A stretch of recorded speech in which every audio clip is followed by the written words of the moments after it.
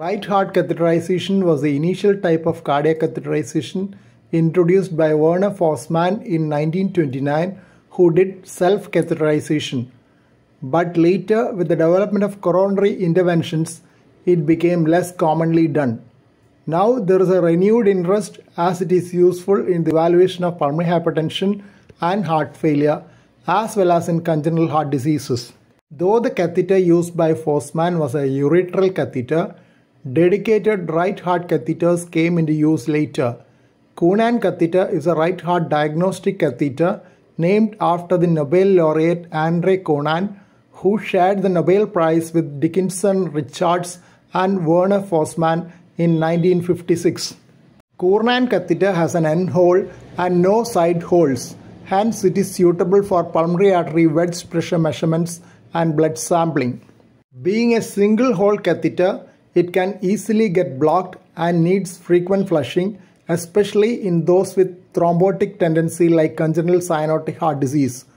Cournand catheter is made of woven dacron and has a polyurethane covering. It has a very gradual distal curve and a tapered tip. Fluoroscopic view of Cournand catheter passing from inferior vena cava to right atrium, right ventricle, pulmonary artery and across a patent ductus arteriosus into the descending aorta. Goodale-Lubin catheter is also a woven dacron catheter with polyurethane coating. It has an end hole and two laterally placed side holes near the end hole. Hence, it is not used for wedge pressure measurement. NIH catheter has no end hole but has multiple side holes. A guide wire cannot be used as there is no end hole.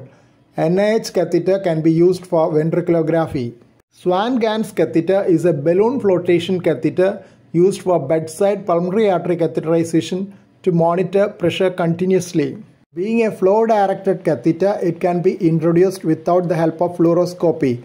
Multiple side lumens are available for blood sampling and medication. The balloon is inflated when the tip pressure shows right atrial pressure tracing. It can be used for checking the balloon occlusion pressure in distal pulmonary arteries, which will correspond to pulmonary arterial wedge pressure and left atrial pressure. But balloon should not be kept continuously inflated in the pulmonary artery. Berman angiographic catheter is a flow directed balloon tipped catheter with multiple side holes proximal to the balloon used for ventriculography. Reverse Berman angiographic catheter has side holes distal to the balloon. It is useful to give proximal occlusion while injecting contrast into a branch pulmonary artery.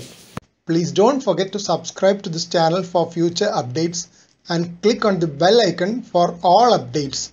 Thank you.